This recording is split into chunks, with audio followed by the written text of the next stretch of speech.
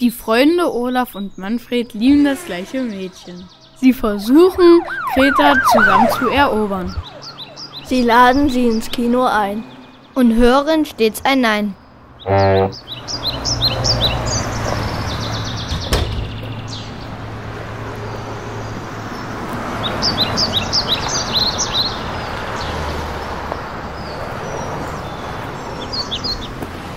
Sie streiten sich in der Bahn. Um das Mädchen. Auseinander und raus aus der Bahn.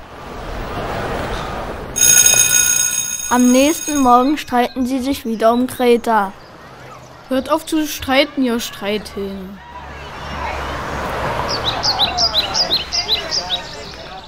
Olaf bekommt die Idee, Greta zu besuchen, was er nicht weiß, dass Manfred dieselbe Idee hat. Es entbrannt ein grausamer Streit.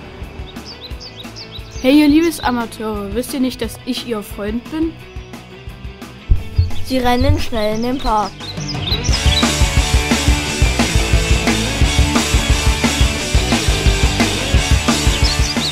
Entschuldigung. Entschuldige.